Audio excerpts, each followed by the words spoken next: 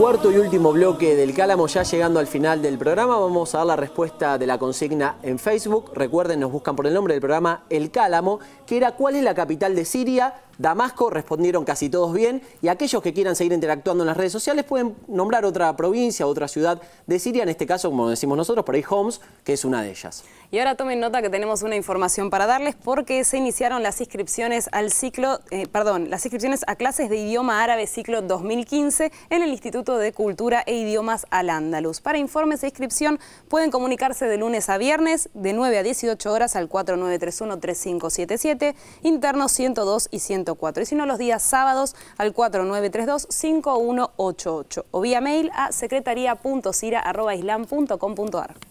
Más actividades del Centro Islámico de la República Argentina a través de la mezquita Al-Ahmad, citan Alberti 1541, ya que los sábados a partir de las 16 horas se dictan clases de idioma árabe y también del Corán. Además, los viernes, luego del Salat al-Shuma, que es el rezo comunitario que tenemos todos los musulmanes, la hermana Kinana dicta unas clases de religión especialmente para mujeres. Todas estas actividades son totalmente gratuitas, aprovechen para poder ir allí que también se aprende mucho.